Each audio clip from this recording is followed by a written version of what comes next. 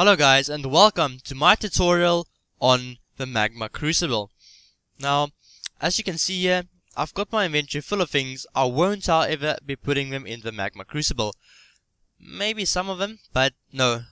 You see, the thing is, the Magma Crucible uses a lot of energy and it's sort of slow, so be careful of that.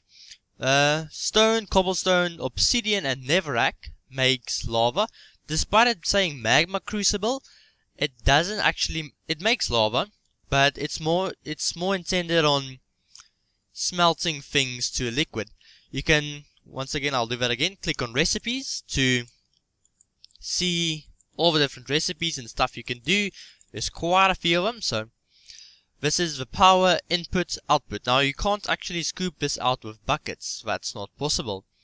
You need to, as it's shown here, pipe it out to tanks.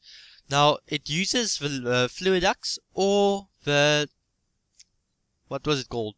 Buildcraft fluid pipes, but it does seem to prefer the Fluiducts because I think the Fluiducts just transfers the liquid faster. These have been running for the same amount of time and this one's five times as full, maybe six times as full as the Buildcraft one.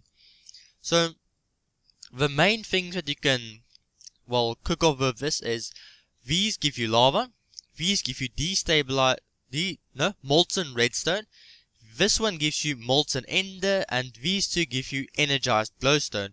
Energized glowstone's quite a fun thing to play with because it's like water but it goes up instead of down. So definitely something to look into.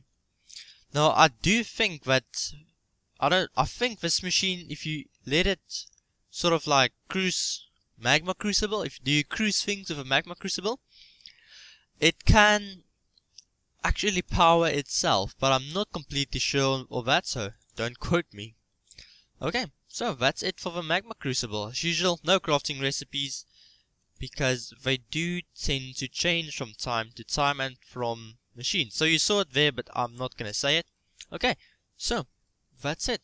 Thank. you. Well, I just want to show you that this uses more than 10,000 redstone faucet tick because it was actually running dry when, well, like running out of power when I only had a single cell attached to it.